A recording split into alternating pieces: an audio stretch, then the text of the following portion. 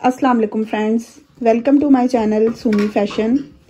आज मैं आपको इस अम्ब्रेला फ्रॉक की कटिंग और स्टिचिंग बताने वाली हूँ। तो ये पाँच साल तक की बच्ची की फ़्रॉक है और मैंने इसके अंदर सारी मेज़रमेंट वगैरह बताई हैं। आप अपनी एज की बच्ची जो भी आपकी एज की है, उसकी मेज़रमेंट के हिसाब से इसकी कटिंग कर सकते हैं। तो ये देखें, ये आगे से ओपन शर्ट है। और इसकी लेयर्स काफ़ी ज़्यादा हैं। अम्ब्रेला ओपन शर्ट है ये।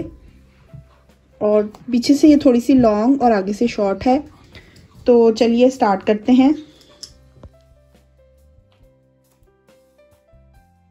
इसके लिए सबसे पहले मैं ये ऊपर की जो पेटी होती है, उसका, उसके लिए मैंने कपड़ा लिया है।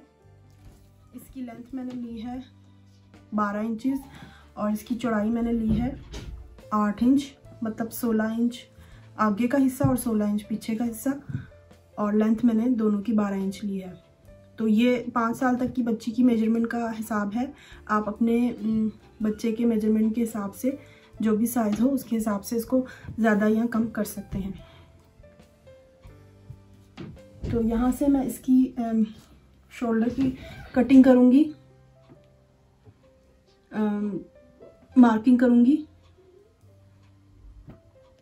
यहाँ मैं साढ़े पाँच इंच ले रही हूँ और यहाँ से भी मैं साढ़े पाँच इंच लूँगी।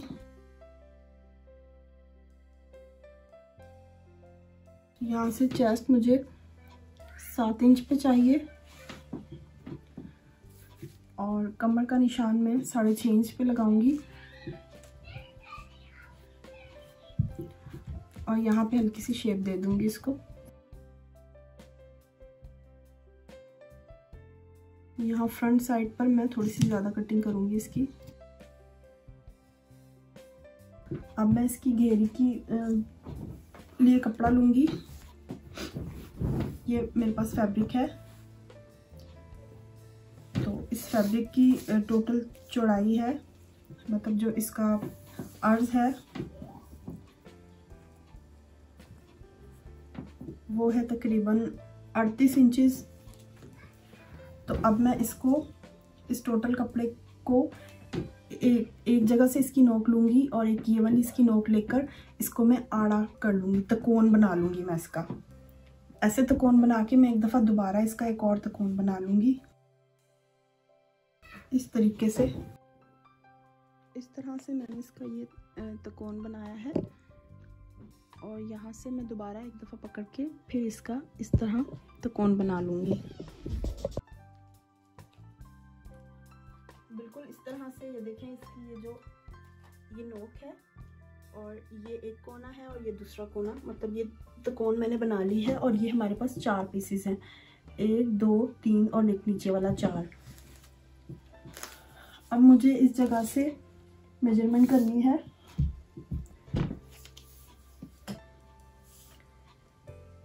बिल्कुल इस नोक से लेकर जहाँ तक इसकी लेंथ आ रही है, यहाँ तक मैं मेजर करूँगी। ये मेरे पास साढ़े अट्ठारह इंच आ रहा है।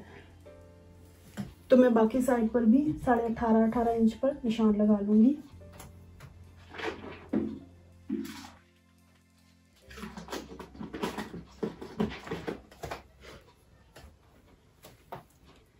इस साइड पे भी साढ़े अट्ठारह इंच पर मैं निशान लगा लूँगी।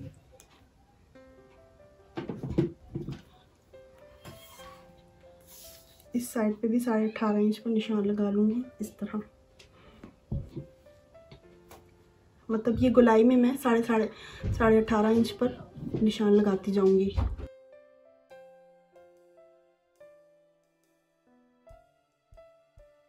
और मैं इसको गुलाई दे दूँगी। और इस गुलाई की अब मैं कटिंग कर लूँगी।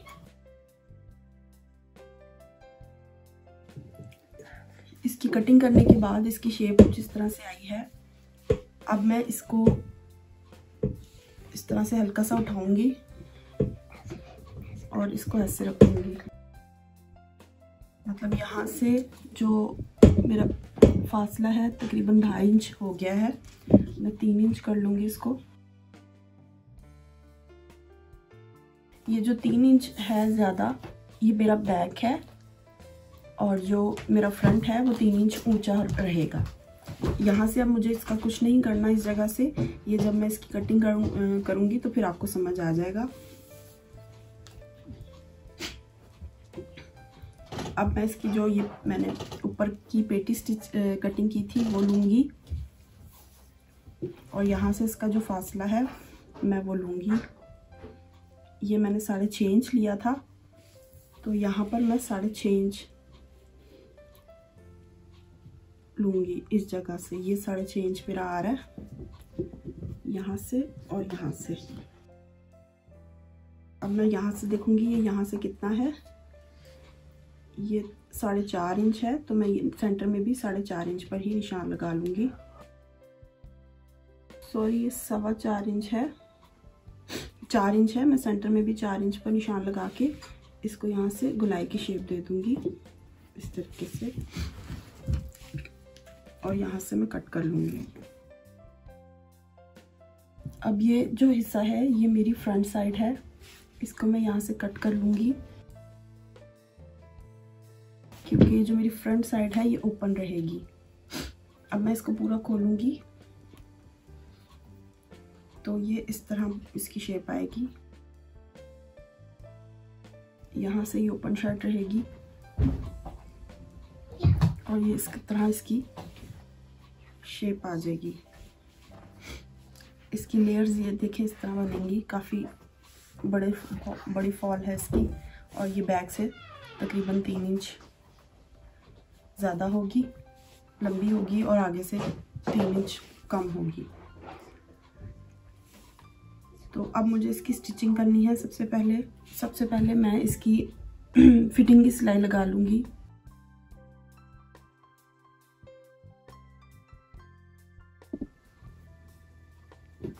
सबसे पहले मैं ये जो मेरी ऊपर वाली पेटी है, इसकी मैं फ्रंट साइड लूँगी, जो अगला हिस्सा है, और उसको बीच में से कट कर लूँगी, क्योंकि ये मेरा जो मैं फ्रॉक तैयार करूँगी, ये ओपन शर्ट है। नीचे वाली घेरी को भी मैंने ऊपर से कट कर लिया था। बिल्कुल सेंटर से मैं इसे कट कर लूँगी। और ये जो अब मेरा घेरी है, मैं इसके साथ इसको अटैच करूँगी। यहाँ पर मैं पहले फिटिंग की सिलाई लगा लूँगी। ये देखें, ये मैंने दोनों तरफ़ फिटिंग की सिलाई लगा ली है। अब ये सीधा हिस्सा इसका इस तरफ़ आ रहा है। मैंने अभी कंधे नहीं जोड़े और ना ही नेक बनाया है। सबसे पहले मैंने इसकी फ़िटिंग की सिलाई लगाई है। अब मैं इस फिटिंग की सिलाई के साथ ये घेरी अटैच करूँगी। इसकी जो ओपन वाली जगह है, इस तरह उसको स्टार्ट करूँगी यहाँ से। ये जो है अरेब में है, इसका इसका ध्यान रख के इसको बहुत ज़्यादा खींचना नहीं है। तो हम इस तरह इसको रखेंगे और इस तरीके से यहाँ से स्टार्ट करेंगे। यहाँ से स्टार्ट करके हम इस तरह पूरे घेरे पे सिलाई लगा लेंगे। खींचना नहीं है, अगर खींचा तो ये फिर झोल पड़ता है इस पर और एक कपड़ा क्योंकि अरेब है घेरी वाला तो वो झोल पड़ेगा और वो फिनिशिंग के साथ नहीं बनेगा। इस तरह मैं इसको हल्के हाथ से यहाँ स्टिच कर लूँगी अब। अब मैंने इसकी घेरी अटैच कर ली है। यहाँ से अब मैं इसकी नेक की कटिंग कर लूँगी ऊपर से। ये कटिंग हम पहले भी कर सकते हैं। तो यहाँ पर मैं जितना मुझे लेना है, उससे मैं सिलाई का मार्जिन छोड़कर फिर कटिंग करूँगी। मतलब मैं यहाँ सवा दो इंच मुझे चाहिए तैयार नेक तो मैं दो इंच लूँगी। दो इंच पर यहाँ निशान लगाऊँगी। और यहाँ मैं पौने चार इंच पर निशान लगाऊँगी। मुझे चार इंच तैयार चाहिए। तो यहाँ से मैं इसकी गुलाई में ऐसे निशान लगा के तो इसकी कटिंग कर लूँगी। पहले बैक नेक की मैं चौड़ाई वही लूँगी, लेकिन मैं इसकी जो गहराई है, वो तकरीबन दो इंच पर निशान लगाऊँगी। ये बैक साइड थी। अब मैं फ्रंट साइड की कटिंग करूँगी। फ्रंट साइड आगे से ओपन है। देखिए ये मेरा फ्रंट साइड का नेक है। और ये मैंने घेरी इस तरह अटैच कर ली है कि लुक कुछ इस तरह से आई है। अब मैं इसके ऊपर, आगे से जो ओपन हिस्सा है, यहाँ पर मैं पट्टी लगाऊँगी। ये इसके बॉर्डर की ही पट्टी थी। बॉर्डर से ही निकली है ये येलो पट्टी। अब मैं इसको यहाँ रखूँगी। उल्टी साइड पर इस तरह। और फिर यहाँ से मैं इसको सीधी साइड पे पलट दूँगी। ये आगे जो ओपन वाली ओपन शर्ट का जो ओपन वाला हिस्सा है, वहाँ से मैं स्टार्ट कर रही हूँ।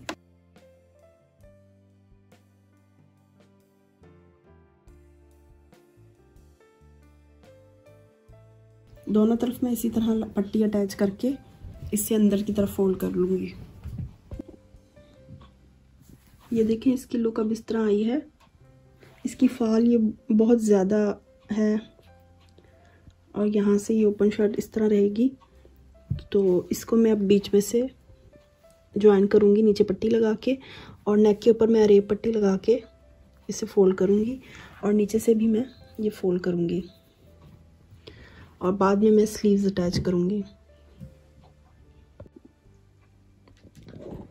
तो ये देखें, ये इसकी लुक कुछ इस तरह आई है। मैंने गले के ऊपर अरे पट्टी लगा के इसको तुरपाई कर ली है नीचे से, जैसे हम नॉर्मल बैग गले के ऊपर करते हैं। स्लीव भी मैंने अटैच कर ली है। यहाँ पर मैंने वही येलो वाली पट्टी लगा दी है बॉर्डर की। और इसके अलावा मैंने ये पट्टी भी ऊपर से लगा के फोल्ड कर दी है। ये देखें, इसकी फॉल बहुत ज़्यादा है। यहाँ इस तरह वीडियो में इतनी अच्छी क्लियर नज़र नहीं आ रही। जब ये पहनी जाएगी फ्रॉक तो फिर पता चलेगा। अब मैं इसकी जो नीचे कपड़ा रख कर पट्टी फोल्ड कर नीचे लगा दूँगी एक। इसको बंद करने के लिए आगे से आप चाहें तो बटन भी लगा सकते हैं। जो मर्ज़ी डिज़ाइनिंग आप करना चाहें कर सकते हैं। मैं यहाँ से ऊपर से तकरीबन डेढ़ इंच छोड़ के, ऊपर से डेढ़ इंच छोड़ के यहाँ से लगाना शुरू करूँगी पट्टी नीचे। ये थोड़ा सा खुला रहेगा ऊपर से। आप अपनी मर्ज़ी से बंद भी कर सकते हैं। और नीचे से नीचे से भी मैं तकरीबन आठ इंच तक इसको खुला छोड़ दूँगी। ये मैंने इसके लिए एक पट्टी तैयार की है। अब मैं ये इसके नीचे इसको बंद करने के लिए लगाऊँगी। यहाँ पर मैंने निशान लगाया था, डेढ़ इंच के फासले पर। ये निशान लगा हुआ है। शायद ये क्लियर नहीं है, मैं इसे क्लियर कर देती हूँ, वाजिया। यहाँ से मैं इसके नीचे पट्टी रखूँगी। यहाँ से सिलाई स्टार्ट करूँगी पहले मैं।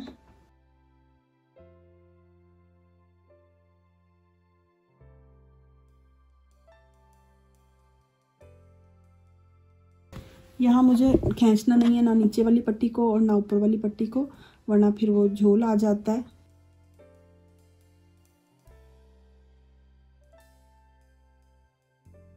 यहाँ नीचे से मैं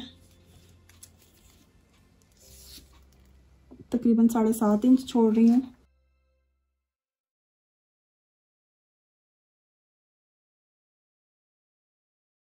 इसी तरह मैं दूसरी तरफ़ भी अटैच कर लूँगी।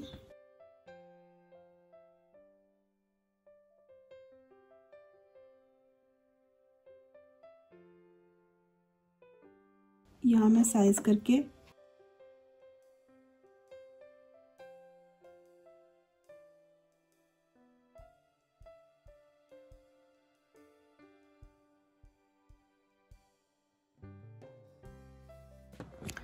ये देखें, ये मेरी फ्रॉक तैयार हो चुकी है और इसकी लेयर्स काफ़ी ज़्यादा हैं और ये पीछे से थोड़ा, थोड़ी बैक लंबी है और फ्रंट से थोड़ी सी छोटी है। यकीनन आपको मेरी आज की वीडियो पसंद आई होगी। तो इंशाल्लाह नेक्स्ट वीडियो में मुलाकात होगी। शुक्रिया। खुदा हाफिज़।